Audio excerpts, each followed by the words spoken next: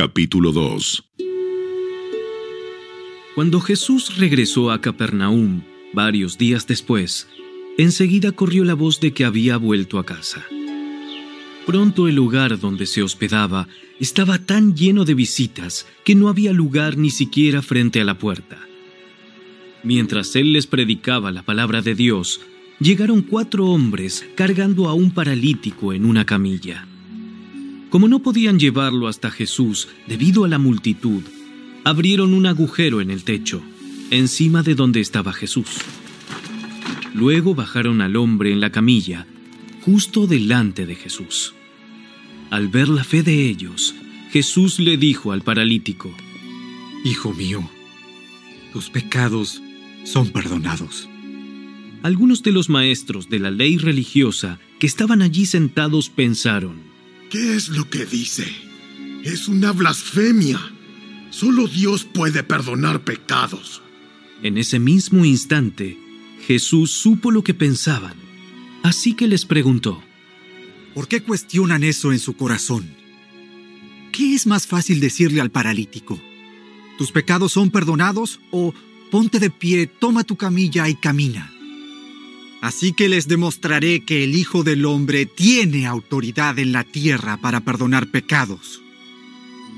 Entonces Jesús miró al paralítico y dijo, Ponte de pie, toma tu camilla y vete a tu casa. Y el hombre se levantó de un salto, tomó su camilla y salió caminando entre los espectadores que habían quedado atónitos. Todos estaban asombrados y alababan a Dios exclamando, Jamás hemos visto algo así. Entonces Jesús salió de nuevo a la orilla del lago y enseñó a las multitudes que se acercaban a él. Mientras caminaba, vio a Leví, hijo de Alfeo, sentado en su cabina de cobrador de impuestos, y le dijo, Sígueme y sé mi discípulo. Entonces Leví se levantó y lo siguió.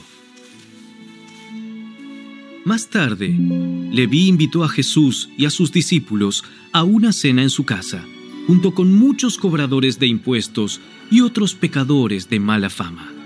Había mucha de esa clase de gente entre los seguidores de Jesús.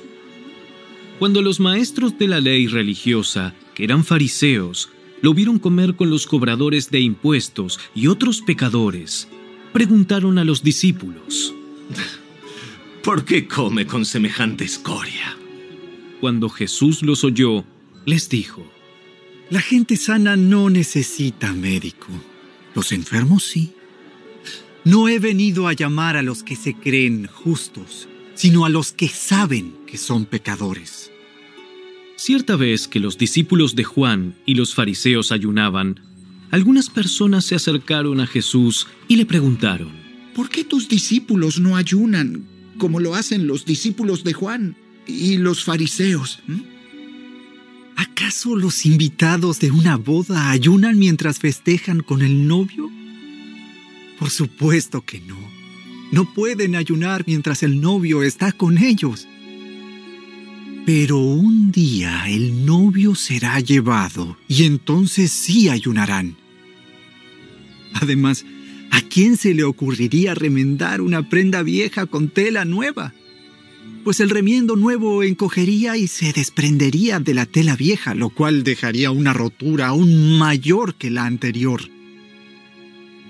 Y nadie pone vino nuevo en cueros viejos, pues el vino reventaría los cueros y tanto el vino como los cueros se echarían a perder. El vino nuevo necesita cueros nuevos. Cierto día de descanso, mientras Jesús caminaba por unos terrenos sembrados, sus discípulos comenzaron a arrancar espigas de grano para comer. Entonces los fariseos le dijeron a Jesús, Mira, ¿por qué tus discípulos violan la ley al cosechar granos en el día de descanso? ¿Acaso no han leído en las escrituras lo que hizo David cuando él y sus compañeros tuvieron hambre? Entró en la casa de Dios en el tiempo que Abiatar era sumo sacerdote y violó la ley al comer los panes sagrados que solo a los sacerdotes se les permite comer y también les dio una porción a sus compañeros. Después Jesús les dijo, El día de descanso se hizo para satisfacer las necesidades de la gente y no para que la gente satisfaga los requisitos del día de descanso. Así que el Hijo del Hombre es Señor incluso del día de descanso.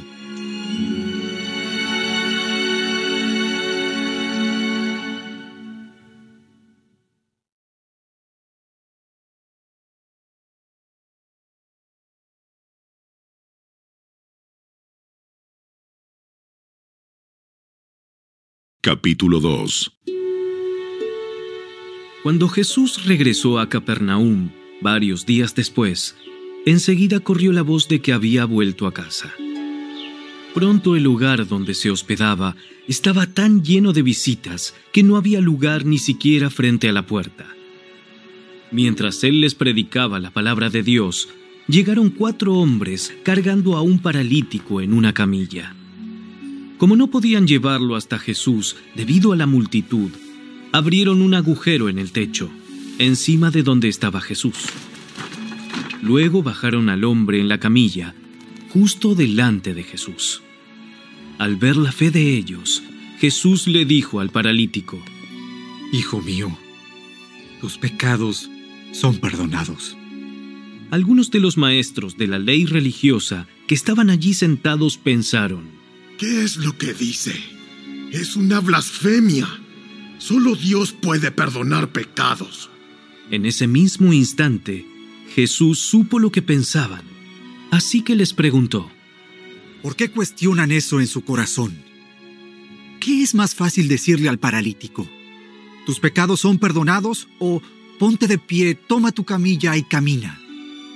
Así que les demostraré que el Hijo del Hombre tiene autoridad en la tierra para perdonar pecados. Entonces Jesús miró al paralítico y dijo, Ponte de pie, Toma tu camilla y vete a tu casa. Y el hombre se levantó de un salto, tomó su camilla y salió caminando entre los espectadores que habían quedado atónitos. Todos estaban asombrados y alababan a Dios exclamando, Jamás hemos visto algo así. Entonces Jesús salió de nuevo a la orilla del lago y enseñó a las multitudes que se acercaban a él. Mientras caminaba, vio a Leví, hijo de Alfeo, sentado en su cabina de cobrador de impuestos, y le dijo, Sígueme, y sé mi discípulo. Entonces Leví se levantó y lo siguió. Más tarde, Leví invitó a Jesús y a sus discípulos a una cena en su casa, junto con muchos cobradores de impuestos y otros pecadores de mala fama. Había mucha de esa clase de gente entre los seguidores de Jesús. Cuando los maestros de la ley religiosa, que eran fariseos, lo vieron comer con los cobradores de impuestos y otros pecadores, preguntaron a los discípulos, ¿Por qué come con semejante escoria? Cuando Jesús los oyó, les dijo, La gente sana no necesita médico. Los enfermos sí. No he venido a llamar a los que se creen justos, sino a los que saben que son pecadores. Cierta vez que los discípulos de Juan y los fariseos ayunaban, algunas personas se acercaron a Jesús y le preguntaron, ¿Por qué tus discípulos no ayunan como lo hacen los discípulos de Juan y los fariseos? ¿Acaso los invitados de una boda ayunan mientras festejan con el novio? Por supuesto que no. No pueden ayunar mientras el novio está con ellos. Pero un día el novio será llevado y entonces sí ayunarán. Además, ¿a quién se le ocurriría remendar una prenda vieja con tela nueva? Pues el remiendo nuevo encogería y se desprendería de la tela vieja, lo cual dejaría una rotura aún mayor que la anterior y nadie pone vino nuevo en cueros viejos, pues el vino reventaría los cueros y tanto el vino como los cueros se echarían a perder. El vino nuevo necesita cueros nuevos. Cierto día de descanso, mientras Jesús caminaba por unos terrenos sembrados, sus discípulos comenzaron a arrancar espigas de grano para comer. Entonces los fariseos le dijeron a Jesús, Mira, ¿por qué tus discípulos violan la ley al cosechar granos en el día de descanso? ¿Acaso no han leído en las escrituras lo que hizo David cuando él y sus compañeros tuvieron hambre? Entró en la casa de Dios en el tiempo que Abiatar era sumo sacerdote y violó la ley al comer los panes sagrados que solo a los sacerdotes se les permite comer y también les dio una porción a sus compañeros.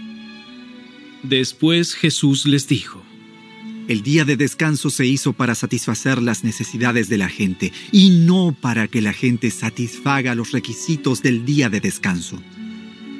Así que el Hijo del Hombre es Señor, incluso del día de descanso.